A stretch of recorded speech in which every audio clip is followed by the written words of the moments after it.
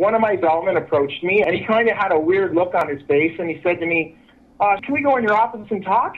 I brought him into my office, and he says, "Uh, something really weird happened here yesterday, and and uh, you weren't here." He said, uh, "There's a couple guys in here looking for you," and I said, "A couple guys? What do you mean?" And he said, "Well, um, this is really hard for me to say." He said, "But."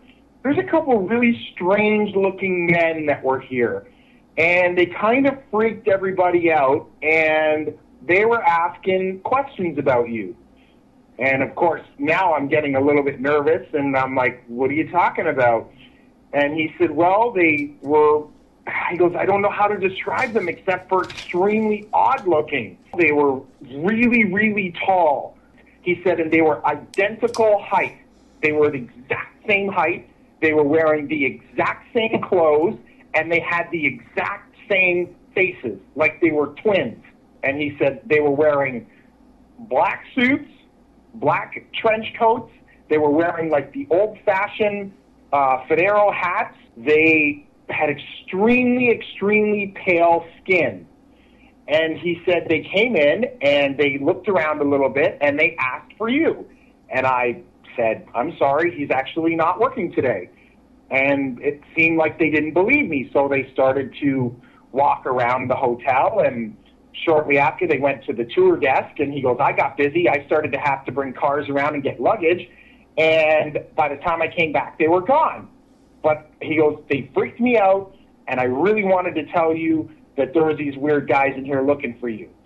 So, of course, now I'm a little bit skeptical and I'm a little bit freaked out all at the same time. So, the first thing I do is I run into my security office because I know how to work the security system and I rewound the cameras. And sure enough, there, here comes two gentlemen through the front door looking exactly how he described.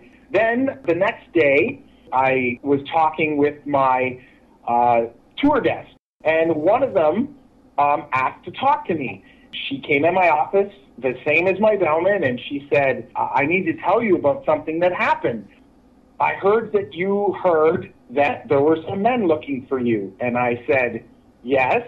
And she said, They asked a few questions about you, and they said strange things that I didn't understand. And they were talking about governments and conspiracies, and none of it made any sense to me. But she goes, They were very, very scary. And I said, Well, why were they scary? And she said, They had no facial hair, none. She said they had no eyebrows, no eyelashes, nothing. Their hair looked like they had a wig on, like it was attached to their hat, like it wasn't even real. And she said, and the scariest thing, their eyes were so big and so blue that they almost hypnotized me a little bit. And she goes, and you're going to think I'm crazy when I tell you this, but I swear they knew what I was thinking. I swear. And I don't think I'm crazy, but I don't even know how they could do it, and I don't know why I'm even telling you this. She goes, so I started to think about things other than you, and I don't even know if it worked. And she started to cry, and she said one more thing before she left. She said, These men, they didn't blink. Not once did I see them blink.